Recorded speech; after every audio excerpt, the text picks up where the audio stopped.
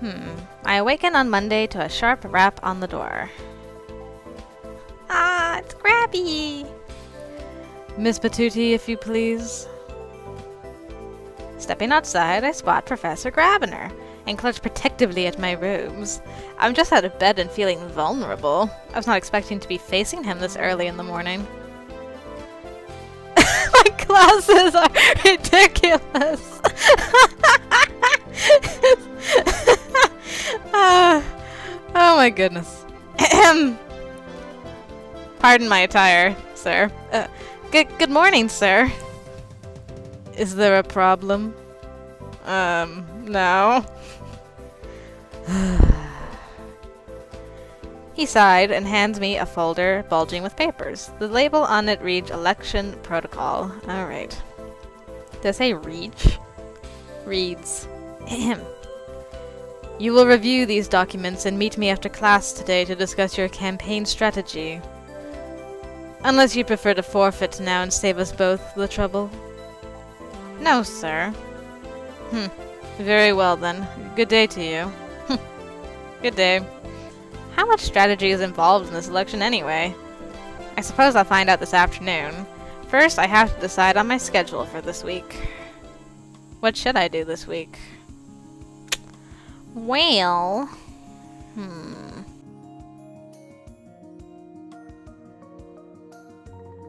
Maybe we'll study, and then do a red, and then do a red, and then do a sleep, and then do a gym?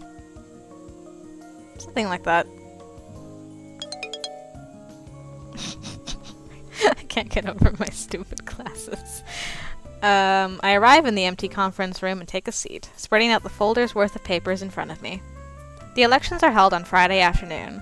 Before then, I have to decide on a campaign slogan, do promotions, and write a speech to convince people to vote for me. That's not much time. I'm still not entirely sure what the class treasurer does.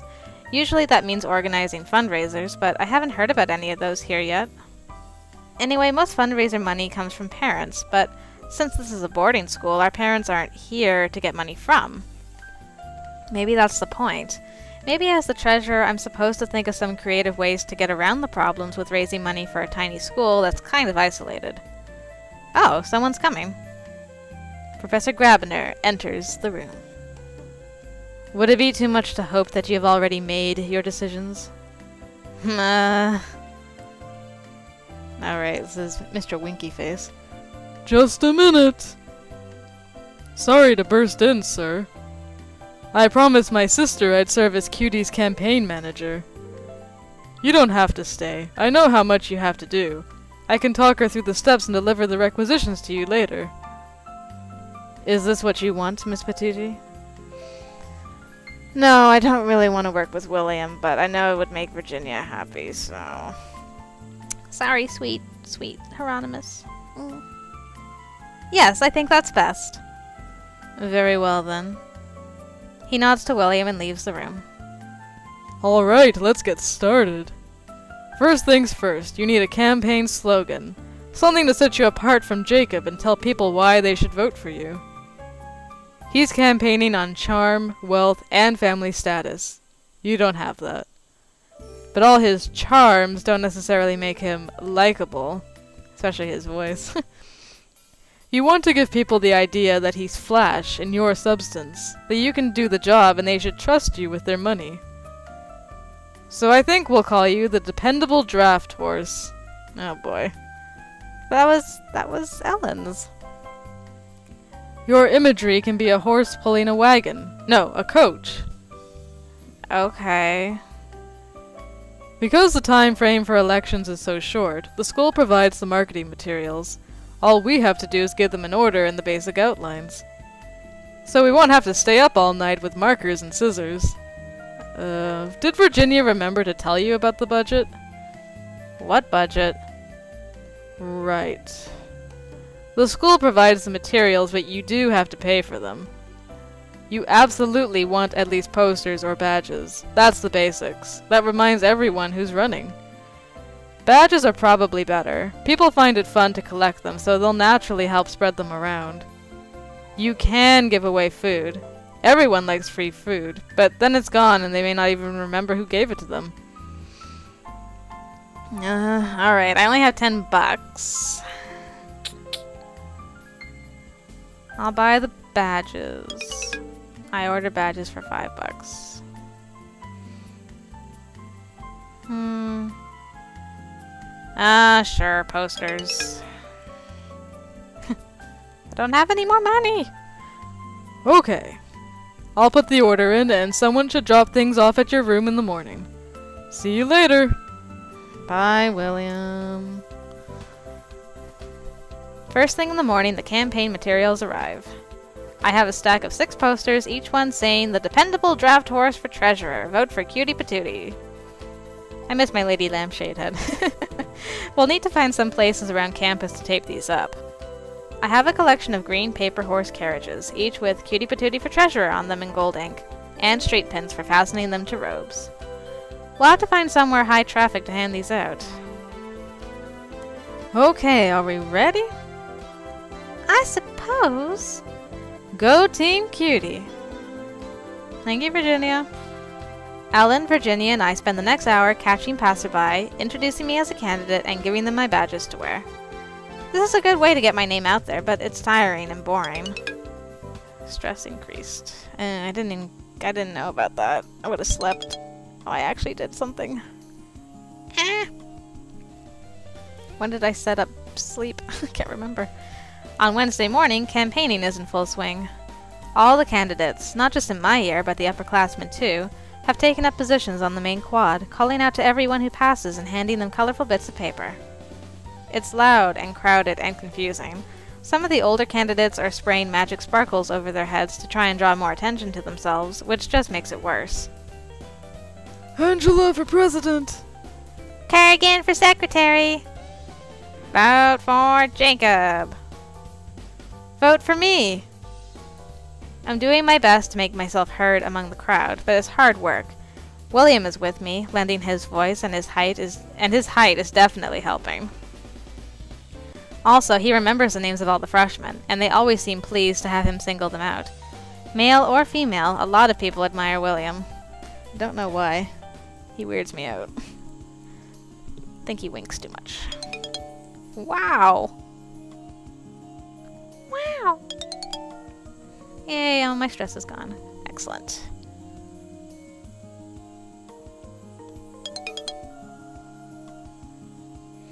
And I got stronger.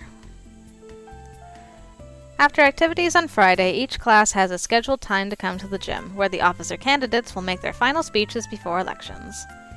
Since we can't vote in the senior election, there's no reason for us to have to listen to their speeches, or vice versa. The freshman slot is the last one in the day. I came in earlier to watch the end of the sophomore campaigns, hoping for some inspiration. I have a slightly better idea of what kinds of things to say, but they all have pros and cons. First up are the candidates for freshman class president.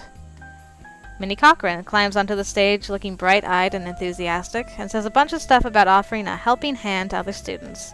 Everyone applauds. Then Suki Sato wanders up and starts talking about how she found a caterpillar once that turned into a lizard instead of a moth. Or something like that. It's a little hard to follow. Oh, and apparently the spirits told her to run for president? Or some spirits. She's not sure which ones. Everyone applauds, but not as loudly. After that come the presentations for treasurer. Jacob Blazing, the Blazing Fire, struts up and gives a very brief speech about how money is obviously in safe hands with him, and he knows how to spend it too. Everyone claps and some guy even hoots in approval.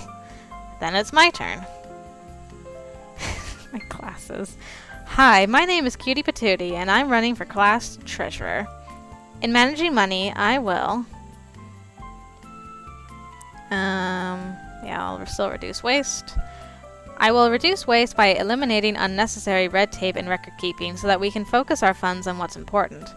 It will be, it will be my job to manage class fundraising events. I will promote existing events, because I remember that Grabby said tradition is important from last time. I will work hard to promote our traditional events so that they will be more successful than ever. The most important thing that I bring to the table as treasurer is... My awesome glasses. Class spirit and dedication. When it comes to money, I will leave no stone unturned. So please, vote for the... so please vote for the dependable draft horse. Yeah. Everyone applauds for some reason. At last it's time for the actual voting. Everyone lines up single file in the hallway leading to one of the classrooms. One at a time we go inside to cast our votes.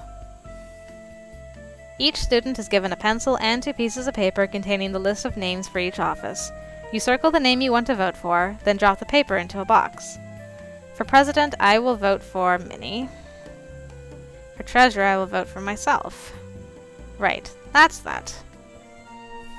I'm still shocked you can vote for yourself. After all the votes are counted, we assemble again in the gym for the results.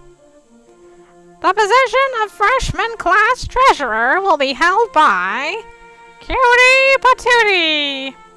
I won!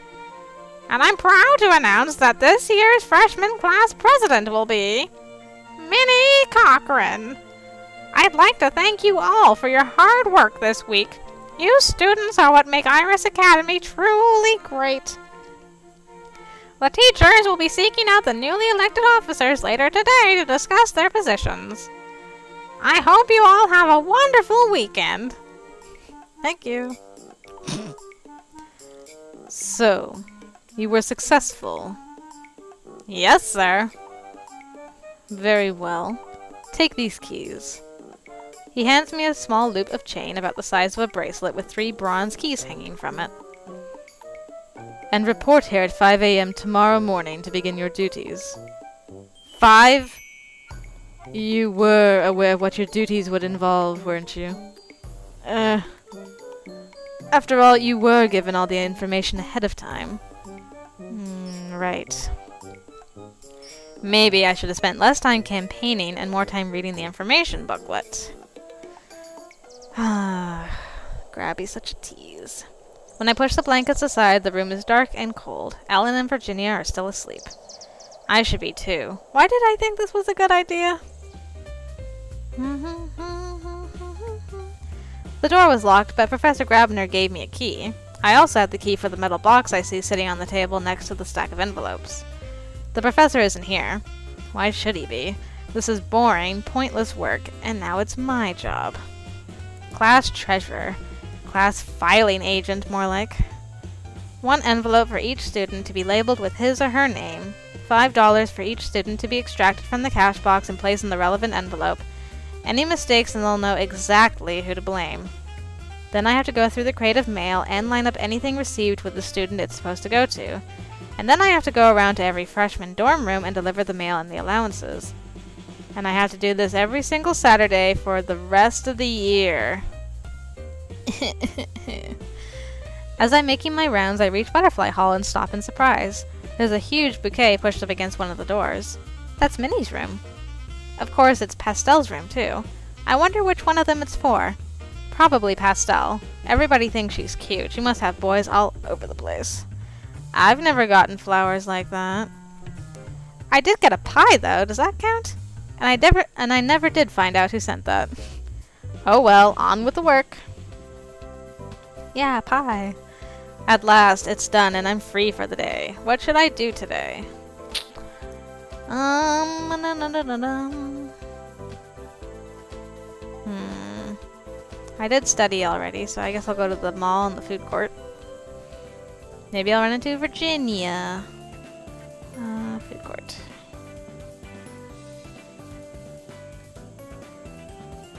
Uh, same thing. And then I didn't run into Virginia. Oh, I did run into Virginia. I see Virginia at a table waving at me. Hey, cutie, over here. Coming closer, I stop and stare in awe at the monstrosity on the table in front of her. There's a cookie, then two brownies, each cut diagonally into triangles and set around the edges of the cookie like the rays of a pastry sun. Then a fat, fat, then a fat, a fat scoop of chocolate ice cream rippled with peanut butter and a smaller scoop of vanilla perched on it like a crown. Over the whole mess are whirls of whipped cream and a scattering of chopped nuts and chocolate sprinkles. Man, that sounds good. The only thing missing is a cherry on top. Judging by the stems on the side of the plate, the cherries didn't last long. Are you going to eat that whole thing? You can have a bite if you want. One bite? no, we can share if you want. Well, I didn't eat anything, sure. Hand me a spoon. Dig in! The giant sundae is deliciously decadent, and I'm hungry. It might be a bad idea to stuff myself on nothing but dessert, but with Virginia on the other side of the table eating just as eagerly, it's hard to stop myself. Of course, after this, we'll both have a massive sugar rush. Want to run laps around the dorm? Is that why you're so hyper all the time, eating stuff like this? Not really. I just like being on the go. Finally, we make it down to the plate, and I sit back and sigh, replete. wow. Too bad I didn't have more stress. I should have negative stress. Uh, it's Sunday, and the sports club is having a meeting. Or rather, a game. Virginia's got the ball and is dribbling it across the floor towards Ellen at the goal. Kyo cuts in to try and steal, but Virginia sidesteps. A twist, a lunge, a swift kick, and the ball flies through the air. What are you guys doing? Nobody pays any attention to him until after Ellen has successfully blocked the goal. Yay, Ellen. This is a sports club meeting. What are you doing here? Maybe I want to play. I'm a fit guy, right? Fine, whatever. Alright. He closes his eyes briefly and a wave of green magic sweeps over him. Hey, you can't do that. Do what? No magic allowed. What are you talking about? We're wizards. This is a real. I mean, this is real sports, not bounders. What's going on? This one says you guys are refusing to use magic. What's the point of that? This one? Well, that's how we've been doing it in Sports Club. That's just wrong. It's unnatural. You're letting your talents go to waste. Come on, it'll be fun. You want to show off your skills, don't you? Who's for flying basketball? No, there is no magic allowed in sports club. Maybe we should take a vote on it. You're with me, right, Q? Mm, yeah. Traitor. Cutie. No magic allowed. I don't think it's a good idea. We're only freshmen, but we've got players from all four years, and we all know completely different spells. I couldn't play flying basketball. I can't fly. There, see? Without magic, it's just kiddie games. Why should we have to hold back from the best we can do? Yeah, we should be real. Real losers? Virginia! Um, because it's the rules. People without magic still have to hold back. You don't pick up the ball in soccer. You don't beat up the other team to stop them from reaching the goal. You do your best within the rules. That's good sportsmanship. Maybe we could have a special game sometime with spells allowed, but only certain spells, so it's fair. Eh, I guess. Ellen looks at Jacob. Do you still want to play? Call me when you play a real game. He leaves. Why are boys so rude? William isn't. Okay, boys except William. Come on, let's get back to the game. Indeed. Let's read our diary. Campaign planning. I met with William to decide on a theme for my election campaign and order supplies. Badges and handshakes. Ellen, Virginia, and I spent the morning distributing campaign materials and promoting me to potential voters.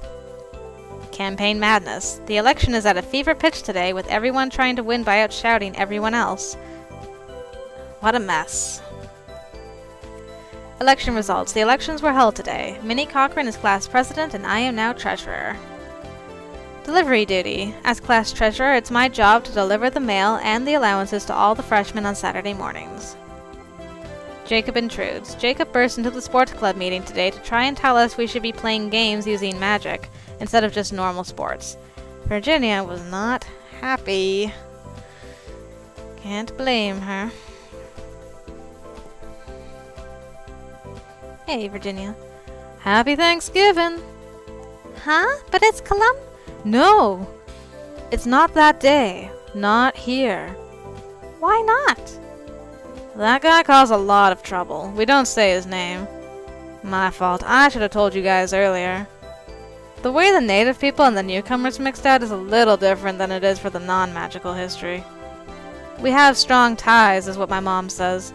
Sacred Smoke takes like a fourth of all the magical students in the US, and around here, the local spirits were dealing with them way before us. So a lot of our rituals and celebrations come from them. So this is Thanksgiving? Not really, I was kidding. It's Canadian Thanksgiving. You're Southern, so you don't notice it as much. Oh, Anyway, what should I do this week? I've got no stress. Um. Let's study again and do red, red, red, and then do a gym. I think. what happened there?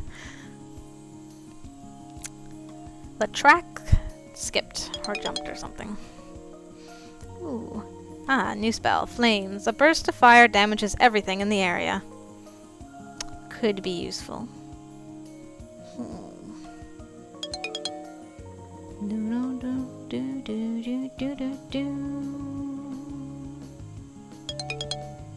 Ah. Well, this week's flying by. Woo! Oh, hey. Virginia is taking gym class today too, but she seems unusually quiet. You okay? Huh? Yeah. Are you done? With class? Um, yeah, I guess. Let's go back. Okay. I follow beside her, but even her footsteps seem subdued. What's going on, girl? Something is wrong. I'm just thinking. Uh-huh. We return to our room and she sits on her bed with a sigh. when you were little, what did you want to be when you grew up? I don't know. I don't think I ever settled on one thing in particular. What about you? I wanted to be a professional athlete. I wanted to play in the Olympics and be on TV and have my face on cereal boxes. But I knew what I had to grow up to be was a witch. Can't you do both? No. It's not allowed. Witches aren't allowed to be athletes or rock stars or anything. Anything that might make them famous. Anything that might make them seen. Once we get our magic, we're not allowed to compete with the people who don't because they think we'll cheat, or because we might get excited and do magic by accident. I don't want to be a witch. Magic is boring. I want what I always wanted. That's interesting. But I can't have it. I see why she's frustrated and why she didn't want there to be any magic at the sports club, but there's something I don't understand. If you don't want to be a witch, then why are you? I mean, you made the choice, right? Couldn't you have just said no? The choice doesn't work the same way if you're a born witch. What do you mean? For you, it's like choose magic, choose to jump through all these hoops to prove you're good enough to be a witch, or choose to say no and they take your magic away forever. Right? Right. What do you think happens to a wild seed who says no?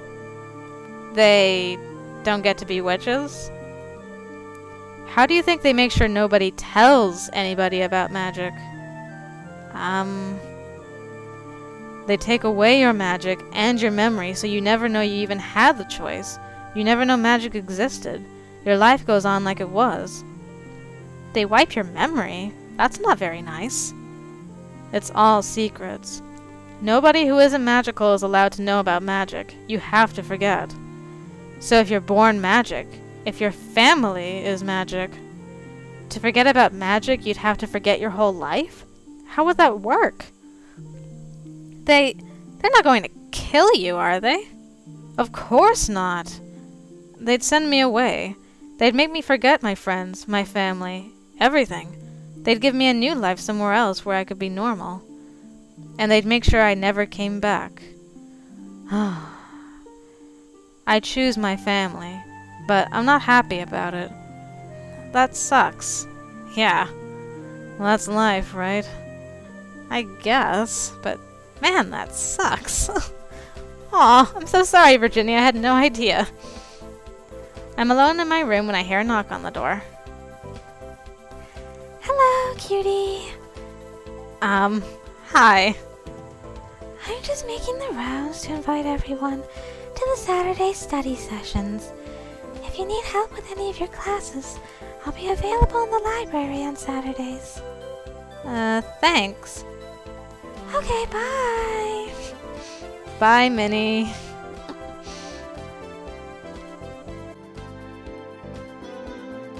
On Saturday morning, I delivered the mail. What should I do? Oh. No. Yeah, I already studied this week. Uh, let's go to the food court. Maybe Virginia will be there again.